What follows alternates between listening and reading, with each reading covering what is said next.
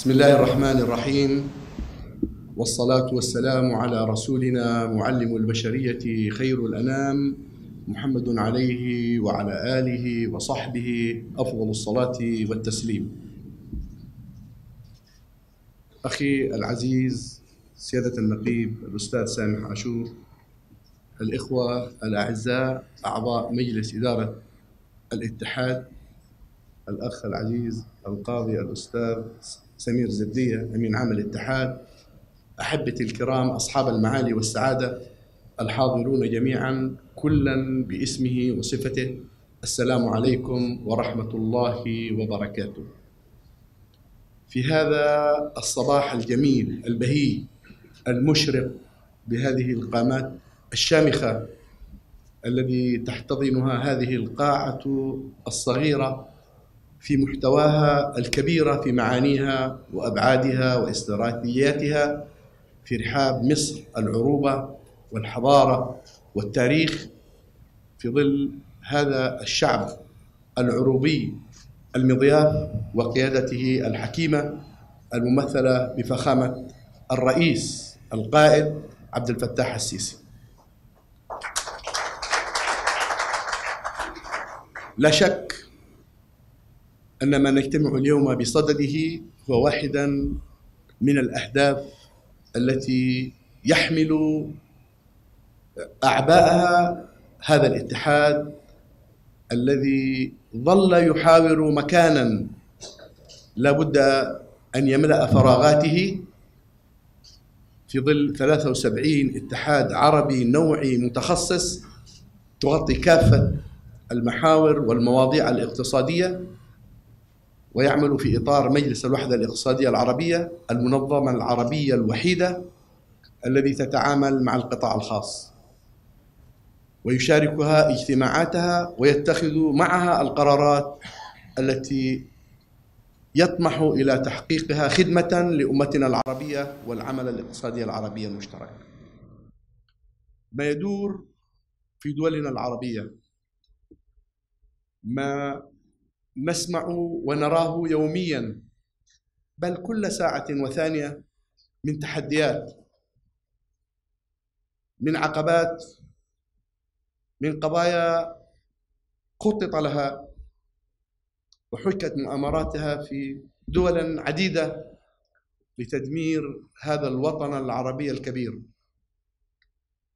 الذي حباه الله سبحانه وتعالى بأن أنزل فيه القرآن ووضعه أمامنا بقيادة معلمنا وقائدنا الرسول الأعظم محمد صلوات الله عليه وسلم وهي آخر الرسالات. منذ أن بدأت أمتنا العربية تتعامل مع واحد من أهم الموارد الاقتصادية وهو النفط. وبعد أن تخلصت دولنا العربية بفضل القيادة الحكيمة لزعامة الرئيس الحي الراحل جمال عبد الناصر والذي استطاع بحكمته وإيمانه بأن ينزع من دولنا العربية الاستعمار البغيض الذي هيمن على مقدرات شعوبنا ووضع حريات دولنا العربية في زاوية ضيقة. نجد اليوم أن الاستعمار الذي طردناه ودفعنا ثمنا لهذا ملايين الشهداء والأرواح قد أعاد نفسه من جديد ولكن بطريقة أخرى. ثورة الاتصالات وتكنولوجيا المعلومات الذي أضحت تدمر فينا الانتماء والرسوخ لأن الأمة العربية أمة واحدة. هذه التكنولوجيا استطاعت أن تجعل دولنا العربية كجزر متناثرة. كلا يعيش في قطر ينمي فيه مصالح لا تمت للأمة العربية بصلة نبتاع النفط من عام 1933 وحتى اليوم تريليونات الدولارات وسلات العملات التي كانت مخرجات لهذه لهذا المورد الوحيد الذي وضعنا أنفسنا عبيدا له مع أن أمتنا العربية حباها الله بالكثير من الموارد المتعددة والمتنوعة. على راسها المورد البشري أضحت أمتنا مستوردة استيراد كامل لكل احتياجاتها وعلى رأسها المواد الضرورية وعلى رأسها القمح. دولنا العربية الدول الأولى في استيراد القمح. وهو المادة الذي تخضع القرار السياسي والإملاءات لمثل هذه الأشياء. كمجلس وحدة اقتصادية تعنى بالاقتصاد العربي وقيام السوق العربية المشتركة في عام 1964 بالقرار رقم 17 والذي يؤطر للتكامل الاقتصادي العربي والمشروعات العربية المشتركة والذي تحققت بفضل انتصار العرب في حرب أكتوبر المجيد واستخدام النفط كسلعة لأول مرة في مواجهة التكتل ضد العرب وحققت فوائد كبيرة استطاعت هذه الفوائد أن تستخدم لاقامه مشروعات وهي المكسب الاقتصادي الوحيد للعمل العربي المشترك. اليوم ونحن نرى ماذا صنعت ثورات الربيع العربي بأمتنا العربية كيف دمرت هذه المكتسبات الذي استطاعت أمتنا العربية أن تحققها بجهد وبعرق أبنائها. للأسف الشديد دمرتها أيدي عربية. ساهمت في زعزعة الاستقرار والأمن الذي هو يعتبر العماد والمحور الرئيسي لانتقال رؤوس الأموال العربية بين دولنا العربية. كثير من النزاعات التي تتم بين المستثمرين العرب والمستثمرين الأجانب أيضا تحصدها دول أجنبية. مركز تحكيم في فرنسا، مركز التحكيم البريطاني في دبي وغيره من مراكز التحكيم تذهب إليها مليارات الدولارات للنظر في مثل هذه القضايا ثم تعود من الباطن إلى مراكز تحكيم عربية بفتات من تلك الأموال التي تحصد وثم يعود القرار إلى هذه الدول لتعلن أنها انتهت من هذا التحكيم. أنا أشكر سيادة النقيب الذي حقيقة تحمل الكثير وبصبره وزملائه من من قاموا بالإعداد لتأسيس هذا الاتحاد من 94 إلى اليوم استطاع أن يجمع كل تلك المراكز وتلك الاتحادات لتنضم في إطار اتحادكم الذي نحن اليوم نجتمع في رحابه. الحمد لله أمتنا العربية ولادة نفتخر بالقضاة ونفتخر بالقانونيين ونفتخر بأن هؤلاء لديهم منهج علمي وعملي يستطيعون من خلاله أن يضعوا أمتنا العربية في الجانب الآمن. لأن التحكيم خارج الوطن العربي هو استكشاف لواقعنا السلبي مع الأسف الشديد ولتدقيق والتمحيص في المفاصل القوية التي يتم إضعافها سواء في التجارة البينية بين الدول العربية وبعضها البعض والذي فشلت مع قيام منطقة التجارة الحرة العربية الكبرى في إطار مجلس الجامعة الدول العربية. وما زالت التجارة البينية تراوح ما بين 5 إلى 8% ونصفها من البترول والبترول ليس سلعة. وانتهاء بالتجارة بين التكتلات والتحالفات الاقتصادية والدول الصناعية الكبرى. كنا بالأمس القريب نتطلع إلى مجموعة العشرين وممثل العرب فيها سمو الأمير محمد بن سلمان.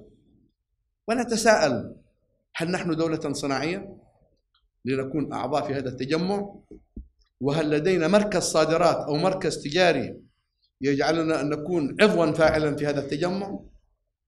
لم يكن ذلك وإنما كان التمويل نحن دول نفطية ووجودنا هو فقط مكمل لفراغ لابد أن يملأه أحد. آن الأوان لأمتنا العربية أن تحتل موقعا ومكانا يتناسب مع حجمها الطبيعي.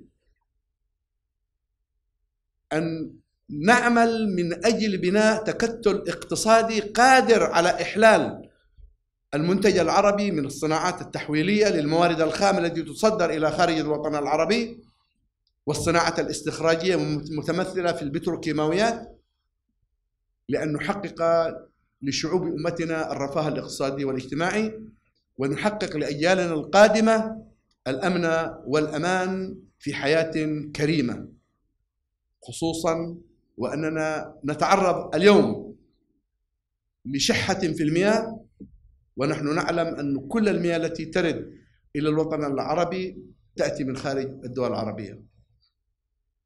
نحن أمام تحدي كبير جدا جدا جدا ولا بد كقانونيين وكقضاة أن نبني هذا الاتحاد كما قال سيادة النقيب بأن نضع الثقة في المستثمرين العرب وفي رؤوس الأموال العربية المهاجرة خارج الوطن العربي والذي تبلغ أكثر من ثلاثة تريليون دولار ولكن نحن.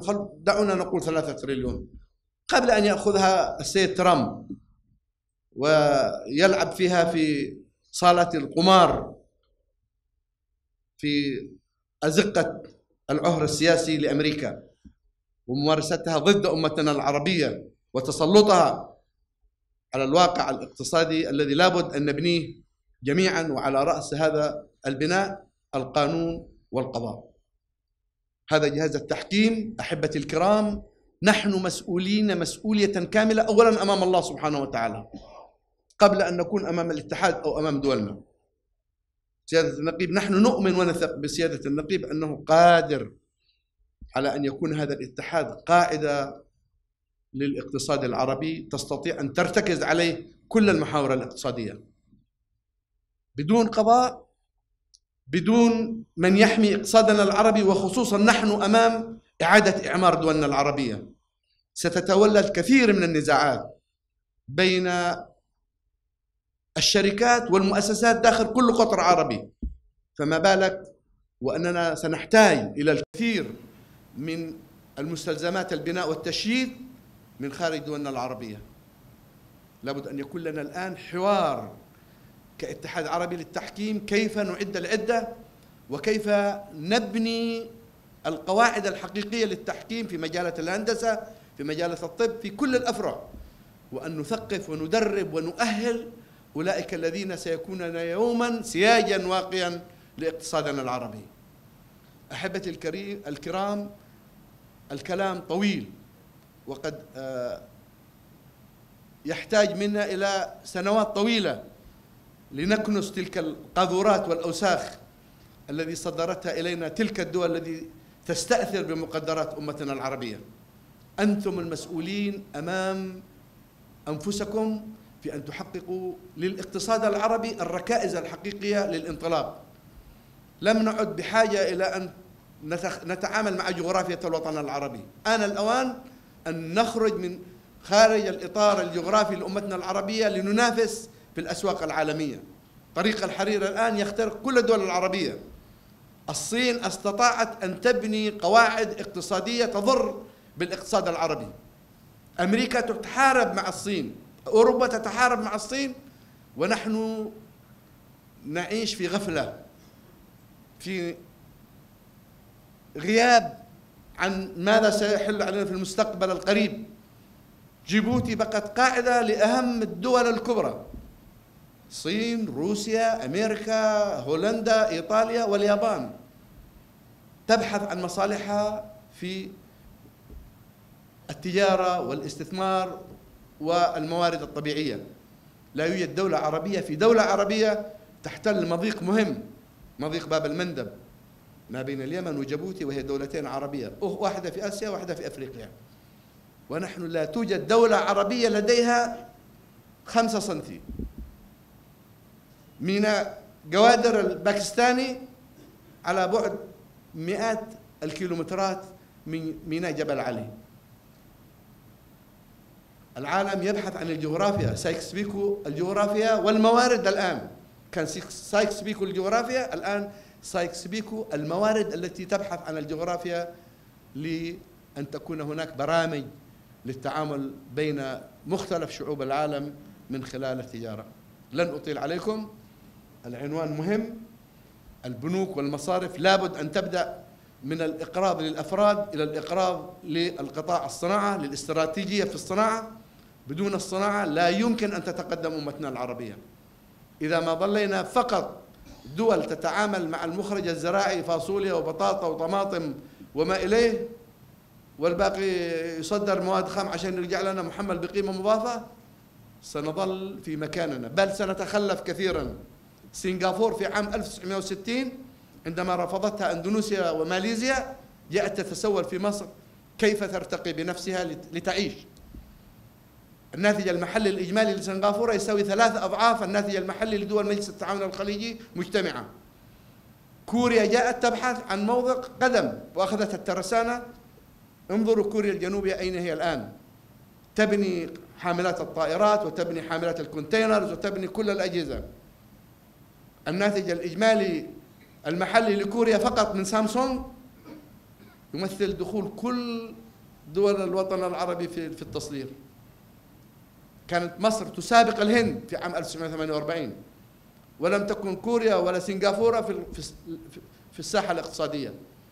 بالعلم والمال يبني الناس ملكهم لم يبنى ملك على جهل وإقلال وقل اعملوا فسيرى الله عملكم ورسوله والمؤمنون. أتمنى لمؤتمركم هذا أن يخرج بتوصية واحدة تنفيذية فقط.